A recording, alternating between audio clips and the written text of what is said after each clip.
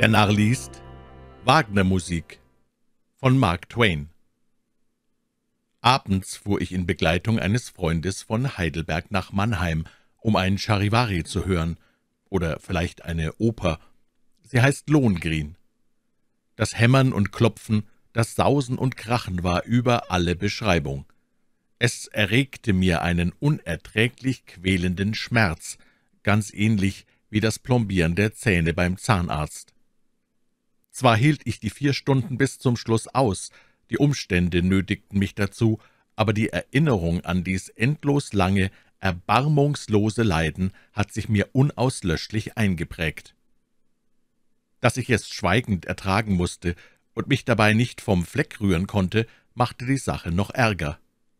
Ich war mit acht bis zehn fremden Personen beiderlei Geschlechts in einem umhegten Raum eingeschlossen und versuchte natürlich, mich so viel wie möglich zu beherrschen, doch überkam mich dann und wann ein so namenloses Weh, dass ich kaum imstande war, die Tränen zurückzuhalten. Wenn das Geheul, das Geschrei und Klagegestöhn der Sänger und das rasende Toben und Donnergetöse des ungeheuren Orchesters noch wilder und grimmiger wurde und sich zu immer höheren Höhen verstieg, hätte ich laut aufschluchzen mögen. Aber ich war nicht allein, und die Fremden neben mir hätte ein solches Benehmen sicherlich überrascht. Sie würden allerlei Bemerkungen darüber gemacht haben, freilich mit Unrecht, denn einen Menschen weinen zu sehen, dem man, um bildlich zu sprechen, bei lebendigem Leibe die Haut abzieht, sollte niemanden in Erstaunen setzen. In der halbstündigen Pause am Ende des ersten Akts hätte ich hinausgehen und mich etwas erholen können, aber ich wagte es nicht, aus Furcht, fahnenflüchtig zu werden, was ich meinem Reisegefährten nicht antun wollte. Als dann gegen neun Uhr abermals eine Pause eintrat, hatte ich schon so viel durchgemacht, dass ich keine Widerstandskraft mehr besaß. In Ruhe gelassen zu werden, war mein einziges Verlangen. Ich will nicht behaupten, dass die übrigen Zuhörer meine Gefühle teilten, das war keineswegs der Fall. Ob sie für den Lärm von Natur eine besondere Vorliebe besaßen oder ob sie sich mit der Zeit daran gewöhnt hatten, ihn schön zu finden. Jedenfalls gefiel er ihnen, das unterlag keinem Zweifel. Während das Getöse in vollem Gange war, saßen sie mit verzückten und wohlgefälligen Mienen da, wie Katzen, denen man den Rücken streichelt. Kaum aber fiel der Vorhang, so stand die ganze ungeheure Menge wie ein Mann auf, und ein wahres Schneegestöber von wehenden Taschentüchern sauste durch die Luft, von Beifallsstürmen begleitet. Dies ging über mein Verständnis. Zudem waren die Logen und Ränge bis zum Schluss so voll, wie es zu Anfang gewesen, und da sich nicht annehmen ließ, dass die Zuhörer alle nur gezwungen dablieben, musste es ihnen wohl Vergnügen machen. Was das Stück selbst betraf, so zeichnete es sich zwar durch prächtige Kostüme und Szenerien aus, aber es enthielt merkwürdig wenig Handlung. Das heißt, es geschah in Wirklichkeit nichts, doch wurde viel über die Begebenheiten hin und her geredet und immer mit großer Aufregung. Man könnte es eine dramatisierte Erzählung nennen. Jeder Mitspieler trug eine Geschichte und eine Beschwerde vor, aber nicht ruhig und vernünftig, sondern auf eine höchst beleidigende, unbotmäßige Art und Weise. Ferner fiel mir auf, dass Tenor und Sopran sich nur selten in ihrer gewöhnlichen Manier dicht an die Rampen stellten, um mit vereinten Kräften und Stimmen zu trillern, die Arme nacheinander auszustrecken, sie wieder zurückzuziehen, erst die rechte, dann die linke Hand auf die Brust zu drücken und sich dabei zu schütteln. Nein, jeder Lärmmacher besorgte seine Sache für sich allein. Nacheinander sangen sie ihre verschiedenen Anschuldigungen mit Begleitung des ganzen großen Orchesters. Wenn dies eine Weile gedauert hatte und man sich gerade mit der Hoffnung schmeichelte, Sie würden sich nun verständigen und etwas weniger Spektakel machen. Dann begann plötzlich ein Riesenchor, der aus lauter Tollhäuslern zusammengesetzt war, loszukreischen, und ich musste zwei, oft auch drei Minuten lang alle Qualen noch einmal durchleben, die ich vor Jahren erlitten habe, als das Waisenhaus in New York in Brand geriet. Diese lange und mit größter Anschaulichkeit durchgeführte Wiedergabe der grässlichen Höllenpein ward nur durch einen einzigen kurzen Beigeschmack von Himmelsfrieden und Seligkeit unterbrochen, nämlich im dritten Akt, während ein prachtvoller Festzug auf der Bühne fort und fort rundum ging und der Hochzeitsmarsch ertönte.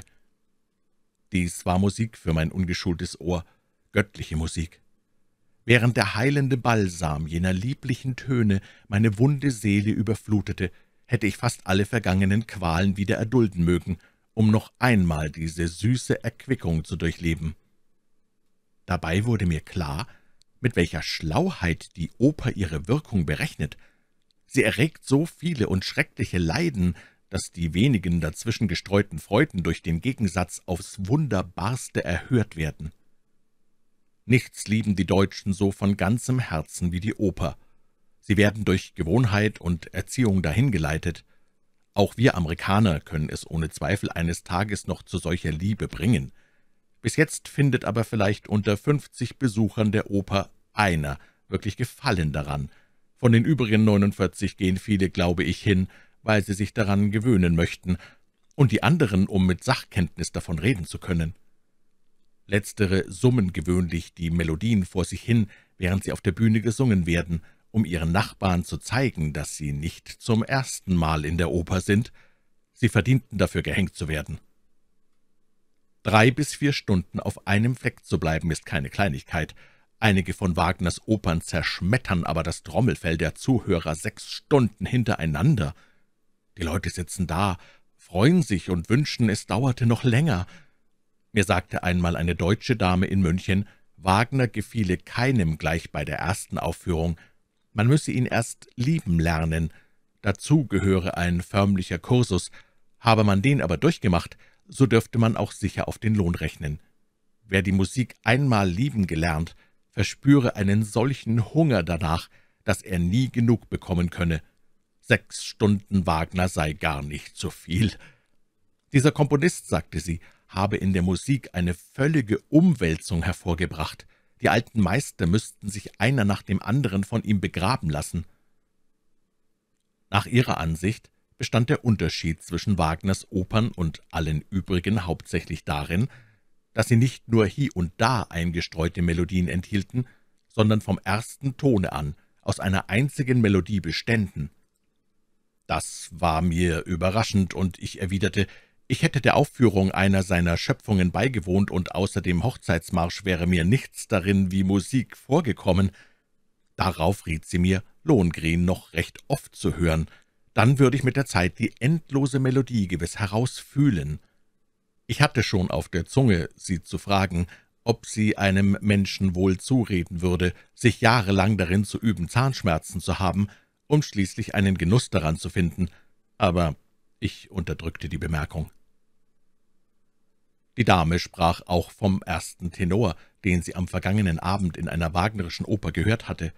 Sie war seines Lobes voll, pries seinen altbewährten Ruhm und zählte die Auszeichnungen auf, welche ihm von sämtlichen Fürstenhäusern Deutschlands zuteil geworden waren.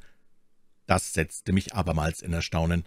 Ich war nämlich bei jener Aufführung zugegen gewesen, vertreten durch meinen Reisebegleiter, und hatte die genauesten Beobachtungen angestellt.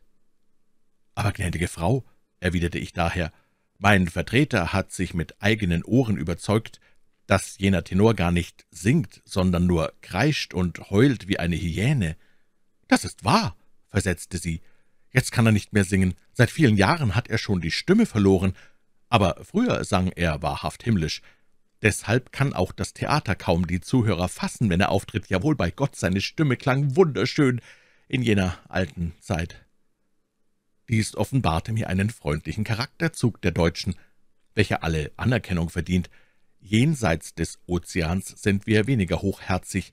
Wenn bei uns ein Sänger die Stimme verloren hat oder ein Springer seine Beine, so ist es mit der Gunst des Publikums für ihn vorbei. Nach meiner Erfahrung zu urteilen, ich bin dreimal in der Oper gewesen, einmal in Hannover, einmal in Mannheim und einmal in München, wo ich mich vertreten ließ, scheinen die Deutschen diejenigen Sänger am liebsten zu hören, welche nicht mehr singen können. Das ist durchaus keine Übertreibung. In Heidelberg war die ganze Stadt schon eine Woche lang im Voraus außer sich vor Entzücken über den dicken Tenor gewesen, der in Mannheim auftrat. Seine Stimme klang aber täuschend, als kratze man mit einem Nagel auf einer Fensterscheibe. Das gaben die Heidelberger auch zu, aber in früherer Zeit, meinten sie, sei sein Gesang so herrlich gewesen wie kein anderer. Ähnlich ging es mir in Hannover. Der Herr, mit dem ich dort in der Oper war, strahlte förmlich vor Begeisterung. »Sie werden den großen Mann sehen«, rief er. »In ganz Deutschland ist sein Ruhm verbreitet. Er bezieht eine Pension von der Regierung und braucht nur noch zweimal jährlich zu singen. Tut er das aber nicht, so wird ihm die Pension entzogen. Als der bejahrte Tenor nun wirklich auftrat, war ich sehr enttäuscht. Wenn er hinter einem Schirm gestanden hätte, würde ich geglaubt haben, man schneide ihm gerade die Gurgel ab. Ich warf meinem Bekannten einen Blick zu, aber der schwelgte in Wonne, seine Augen funkelten vor Vergnügen. Als der Vorhang endlich fiel, erhob sich ein wahrer Beifallssturm welcher kein Ende nehmen wollte, bis der gewesene Tenor dreimal wieder zum Vorschein gekommen war und seine Verbeugungen gemacht hatte. Mein Freund klatschte aus Leibeskräften mit, dann wischte er sich den Schweiß von der Stirn. »Entschuldigen Sie«, sagte ich, »aber nennen Sie das Gesang?« »Nein, Gott im Himmel, das nicht. Aber vor fünfundzwanzig Jahren, da konnte er singen. Jetzt singt er nicht mehr, er schreit nur. Wenn man einer Katze auf den Schwanz tritt, klingt es gerade so.« wir halten die Deutschen im Allgemeinen für ein ruhiges, phlegmatisches Volk, aber das ist weit gefehlt. Sie sind warmherzig, heißblütig und folgen der Eingebung des Augenblicks. Man kann sie ebenso leicht zu Tränen rühren wie zum Lachen bringen. Ihre Treue ist unerschütterlich, und wen sie einmal ins Herz geschlossen haben, von dessen Lobe fließt ihr Mund über, und sie werden nicht müde, ihm zuzujubeln.